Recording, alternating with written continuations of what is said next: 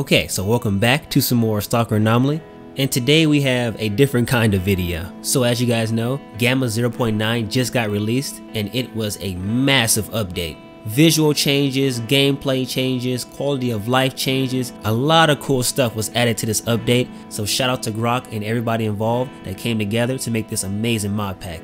So while I was getting my game all set up from this huge update, it gave me some ideas on things I wanted to add to EFP as well. And when I jumped back into EFP 4.0, I was like, man, it'd be really cool to have some of these guns in Gamma as well. And the cool thing is, the mod creators for EFP 4.0 are okay with you using their mods in your own personal mods list and mod packs, which is really cool. So shout out to everyone over at the EFP team. You guys know I love EFP. I've had some of my best times playing Stalker on the EFP mod pack, so I highly, highly recommend it. You will get a totally different experience than what you'll get in Gamma. Okay, so enough talk, let's install these guns, but huge disclaimer, this has not been tested thoroughly, which means I've not spent hours and hours and hours and hours testing this to make sure that it's stable. So just so you know, huge disclaimer, this can break your game and it can mess up stuff. As we all know when you mod games, it may not crash right away, but you won't know it's stable until you spend days and hours literally testing it and making sure everything is stable. But as of right now, everything seems to be okay. I even installed this on a current save and it still works just fine. So everything seems okay. And the cool thing is, if it does break your game, you can just disable the mod and you should be fine. Okay, so first things first, you're going to need to install EFP 4.0 if you haven't already. And if you don't have it installed, I will have a video down below that will walk you through step by step on how to download and install EFP 4.0. So once you have EFP installed, you want to open up the EFP 4.0 mod organizer. You can find the exe for it in the folder you downloaded to install EFP 4.0. So just head over here to mod organizer and open it up. And once you're there, head down to the filter bar down here and then type in EFP. And what you're looking for is this mod right here, the Made-Haruka EFP WP. And you'll find that under the weapons tab. Next, you want to right click on it and go to open in Explorer. And you should see a file like this. And the next thing you want to do is click on mods up here. You should see the file made-haruka. I'm probably saying that mad wrong, I'm sorry about that. But you're looking for the made-haruka EFP WP folder right here. You want to right click on that and copy. Now, close your EFP mod organizer. Then open your Gamma mod organizer. And once you're here, just right click on any random mod and open in Explorer. Just pick any mod, does not matter which mod you choose. Then you'll see a very similar folder. Go back up top and click on mods again. Now right click anywhere in the folder that's not on an actual folder, so like right next to it right here, and paste. And once it's done copying, you should see the EFP WP folder in your Gamma RC3 mods folder. So that's how it should be up here. Also, as you see here, there is a Mags Redux patch for it as well. So if you do use magazines, follow this next step. So keep this Gamma mods folder open, but close your Gamma mod organizer and relaunch your EFP mod organizer. And once it's open, head back down to the filter bar and type in mags. Now you want to find the made Haruka EFP WP Mags Redux patch. And again, right click on it, open in Explorer. And then same as last time, go one step back to the mods folder. And now you want to copy the EFP WP Mags Redux patch folder. Then you want to head back to the Gamma mods folder and paste again.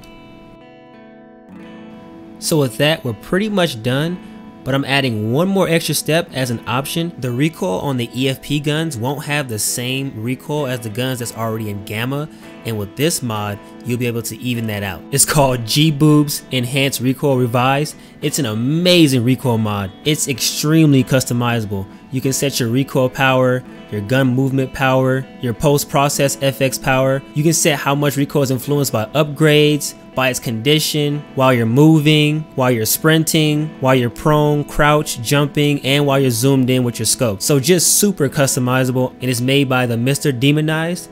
Credits go out to Grok and Lucy. I'll have a link down below for you guys if you want it. Okay, so now for the last steps. So make sure your EFP mod organizer is closed then reopen your Gamma mod organizer. Also, just one more safety step, I recommend backing up your mod organizer. So head up top to the left side of active and click on that arrow pointing down and that will back up your mod organizer. That way, if you get lost and you don't know how to disable any of the mods you did today, you can go back to this arrow right here, right next to that downward arrow, and you can restore it back to the day that you created that backup and that way you can go back to how your mod organizer was before you did anything and you should be fine. Then head back down to the filter bar and type in EFP. And all you do now is enable it. And if you're not using Mags Redux, you don't need this patch at all. But if you are using Mags Redux, enable that patch as well. And if you also want to use the recoil mod, head up to the top left till you see this box with the disk in front of it. Click on that and it should bring up this folder menu. Now all you do is head over to where you download the recoil mod at. Once you find it, click on it and open. Then you get this pop-up, just press OK. Then once that's done installing, head back down to the filter bar and you can type in boob and it, it'll pop right up. So you want to enable the G boobs enhanced recoil revised. And that's it. So let's test it and make sure everything's working. So launch the game through the launcher and make sure your debug mode is on then start the game. Okay, so once you're in game, press F7 and that should bring up the debug menu. Now go over here to item spawner. Now you can pick any gun category, but let's go rifle for now. And you should see a bunch of new guns. It's got the BRN here, really cool guns. Actually spawn that in. Uh, got the HKG28. Again, shout out to Made and everybody over at the EFP team. Um, I love these guns. I'm a gun guy. I love having variety of guns in my game. Um, so this was just amazing how easy it worked. I just literally tried it and it worked immediately. This is an old save as well. A uh, bunch of cool guns in here. So I just spawning a bunch of stuff. Um, yeah, got some shotguns too. Let's see here. Got some shotguns as well. Um, really cool. I think these sawed-off shotguns are from EFP as well. I, it's so many of them I can't remember now, but really cool. So anyway, let's get out of this. So press escape. Let's go into our inventory here. Um, let's just try it out. Yeah, works fine. Also, too, let's uh, check out the recoil mod. So if you go to your uh, mod menu, go down to G-Boobs recoil.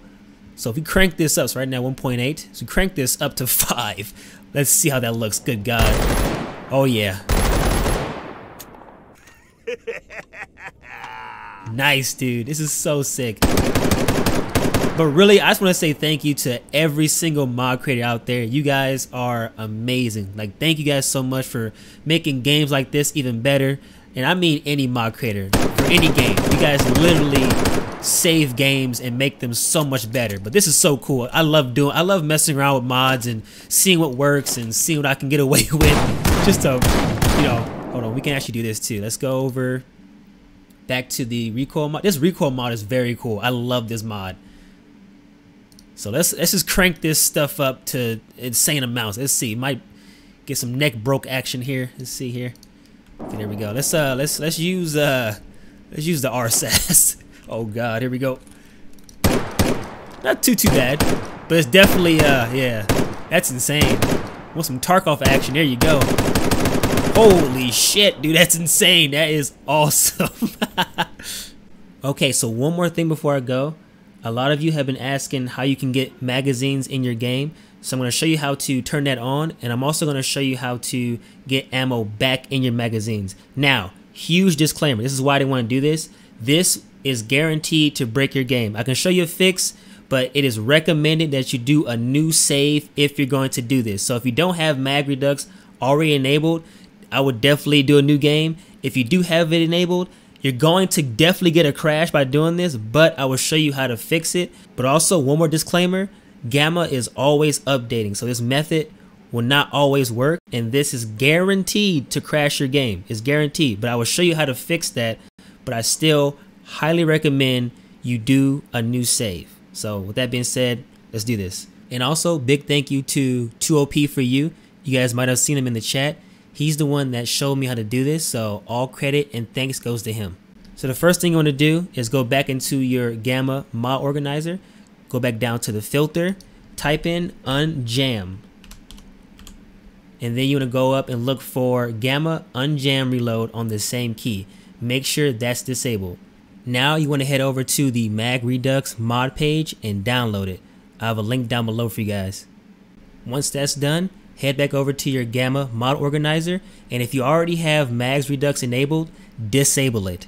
And if you don't, follow the next steps. So head back up here to the box in the disk, click on it, and then find where you downloaded Mag Redux, click on it, and open. So you're gonna get a few options here. So ammo check is for if you want to have a cool little ammo check at the bottom of your screen. So I'll turn it on. Um, the PPP patch, you need that. That's in the mod pack as well. Um, the AUG pack is in the mod pack as well, and the Bass is in the mod pack as well. Small icon patch, I don't think you need this. Uh, I didn't use it, so for right now, I don't have it installed and it works just fine. So now you press install. So once that's done, head back down to your filter bar and type in mag. And then you want to look for anomaly magazine redux and make sure your old mag redux that came with gamma is disabled and enable this one. Now launch your game. Okay, so my game loaded up. Let's test out the mags here, make sure they're working. That is insane, by the way. Okay, reload that thing up. Let's check the mags. So they're working. That one's full. Let's put that one in. Let's make sure it's working here.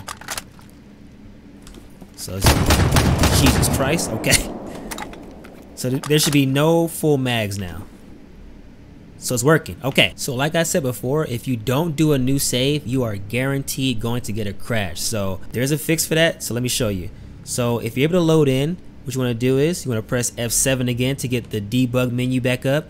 And then you want to delete all common squads. Now before you do this, let me explain what happens here. So this will delete all unimportant NPCs from the world. And then over time, over a couple of days, it will repopulate with new NPCs. So why this fixes the crash is because what happens is when you do this mag redux method, it moves the files a little bit and the game is gonna look for magazines that aren't in that location anymore. They're in the game still, but they're not in that location the game remembers it being in, which is why it's recommended to do a new save. But what happens is when you delete everybody from the game and the game brings in new stalkers, it also brings in the new file location so that way it prevents it from crashing. Now let me explain why you might get an instant crash. That means that a gun that you have is affected or someone around you has a gun that's affected by the file shift. So you can go into your logs and figure out what's causing the crash, if it's your gun or someone around you, and then from there you can move from that area to somewhere else, or you can get rid of your gun and then you can retry the method and then see if that works. But I recommend doing a new save. That way you don't have to worry about any of that stuff. You can just play the game without worrying about the files being all jacked up. Um, but just keep in mind too, everything in this video can break your game. So do it at your own risk.